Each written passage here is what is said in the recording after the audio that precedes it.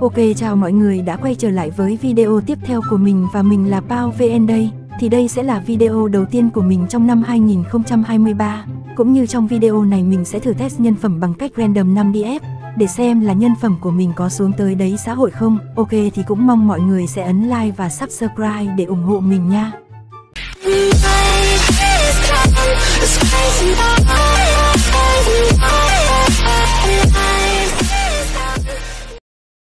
Ok chúng ta sẽ đến với chai ác quỷ random đầu tiên.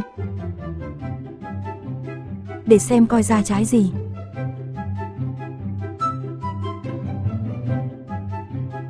Bruh. Ây ra trái khói, mới mở đầu mà được ngay trái cùi. Mình thấy có sự không ổn ở đây. Thôi qua trái tiếp theo luôn.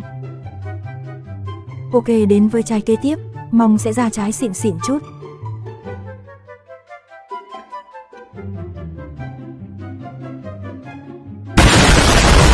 Sao mình thấy có gì đó không ổn ở đây? Hay do mình random bên C1 nên tỷ lệ ra trái xịn chắc không được cao?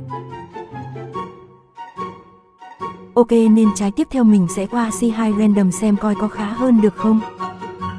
Ok thì mình đang ở bên C2, thì để xem coi lần này sẽ ra trái gì.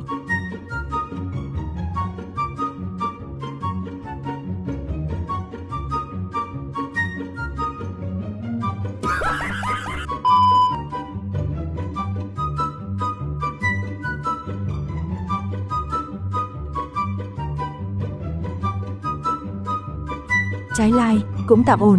Vậy là random bên C2 thì tỷ lệ ra DS xịn có thể sẽ cao hơn bên C1. Ok đến trái kế tiếp để xem có đúng vậy hay không.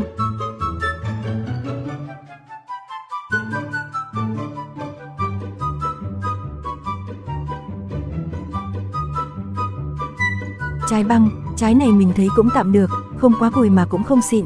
Ok thì ở trái cuối này mình sẽ random bên C3 nha, xem coi có ra Df xịn hay không.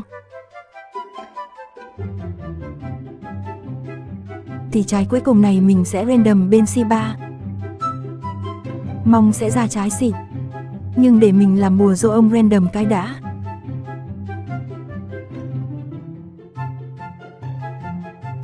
Later.